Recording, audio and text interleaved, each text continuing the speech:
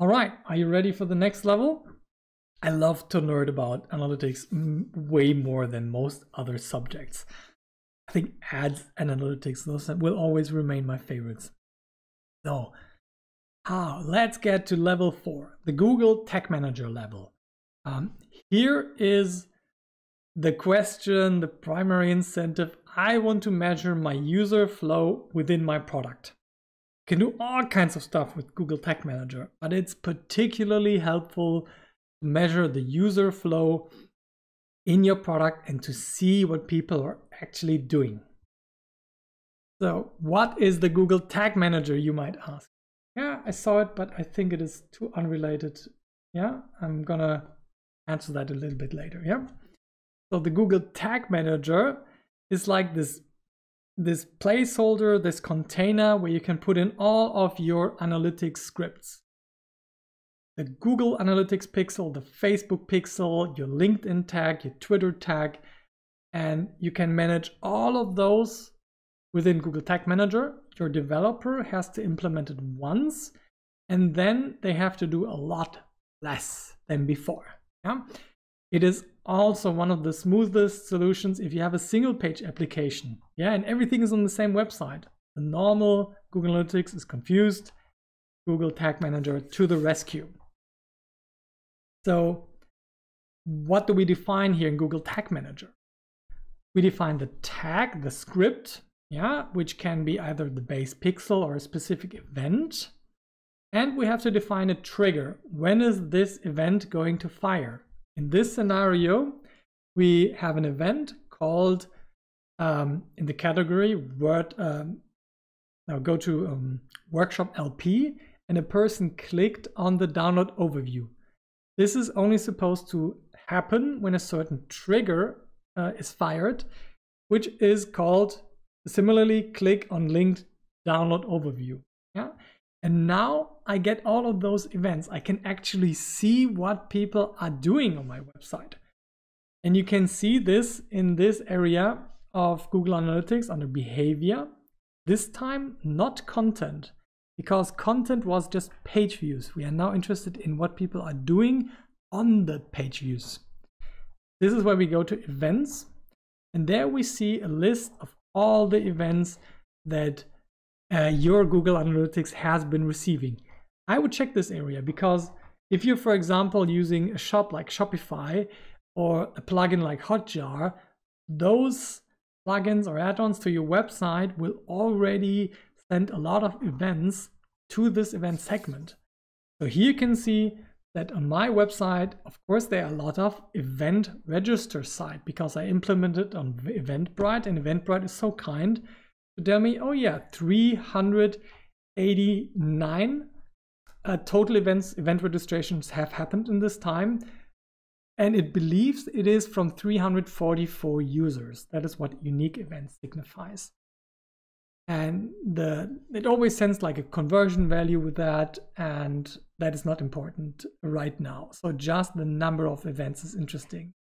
So here I can see uh, how many people have clicked on uh, discover all topics, download overview, learn more, uh, schedule a call, new meetup numbers, new teachable enrollments. I can see new Calendly um, scheduled call events.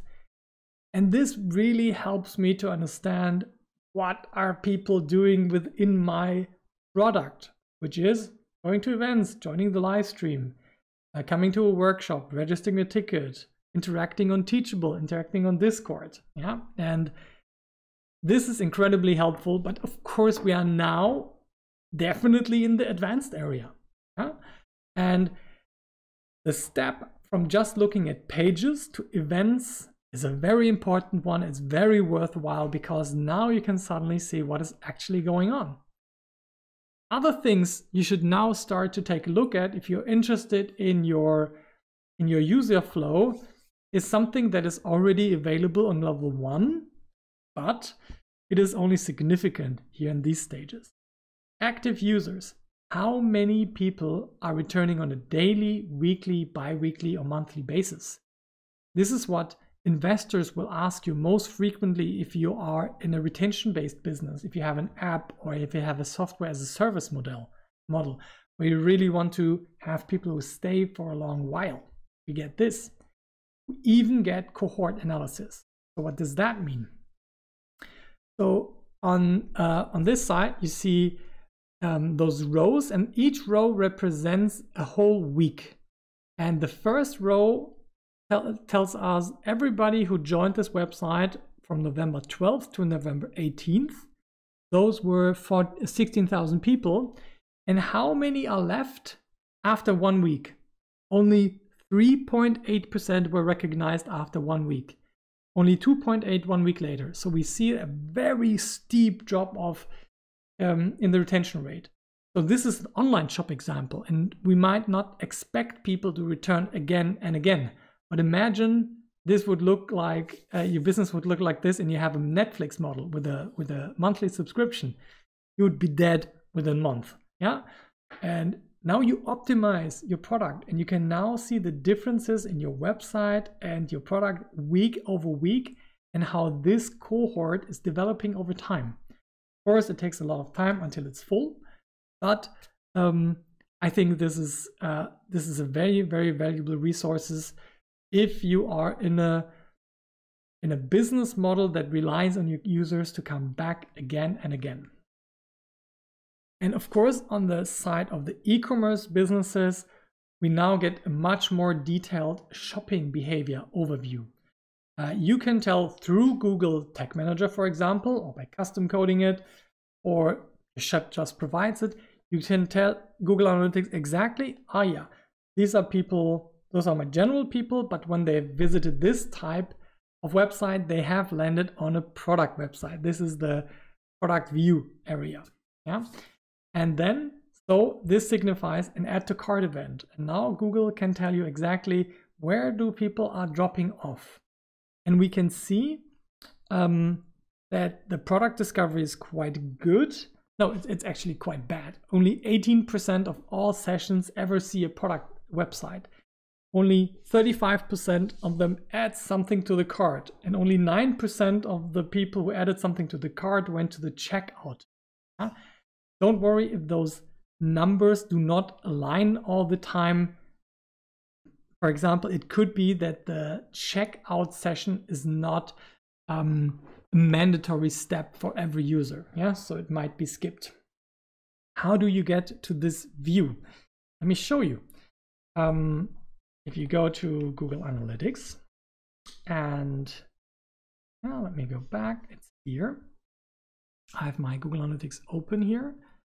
You can go to um, conversion goals. No, not goals, but e-commerce. Yeah. And in the e-commerce overview tab, you get your shopping cart behavior. And here you have your shop behavior, your checkout behavior, your product behavior. And this is where you can discover the charts I've been showing you. All right, so there are definite benefits of um, going one level deeper. What else can we get? Here we have something that is called assisted conversions. Let me get out of the way. So assisted conversions answers the questions, what if people did not check out, let's say they, they press on a Facebook uh, post link, they go to your website, they leave again, they search some, something, come back to your store and buy.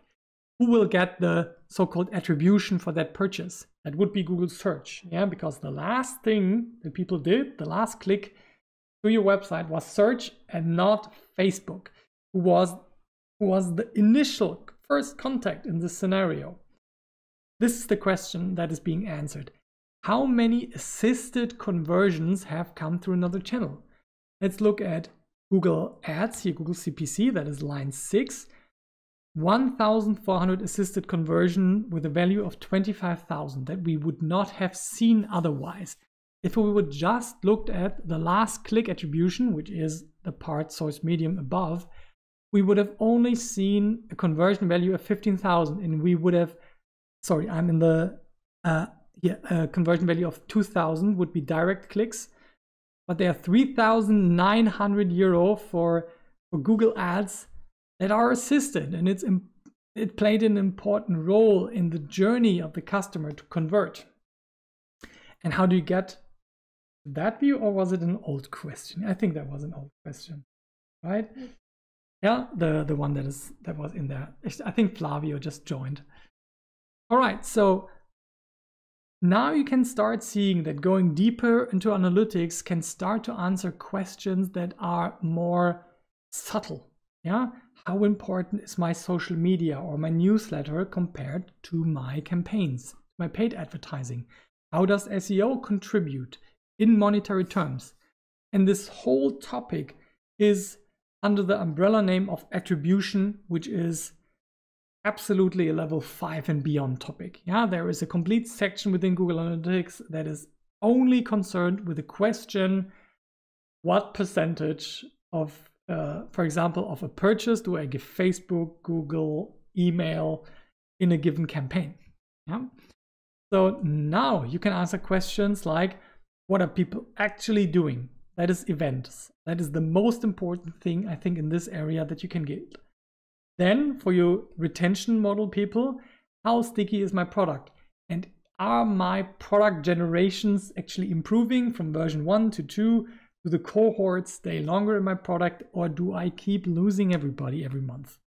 Yeah. And you can now see through the funnel visualization, like in the shopping cart example, where do people actually drop off? Yeah, and I think this now makes clear how how powerful Google Analytics can can get. And this does not only concern Google Analytics, it's this is also um, for Facebook, for Mixpanel, whatever analytics tool you like.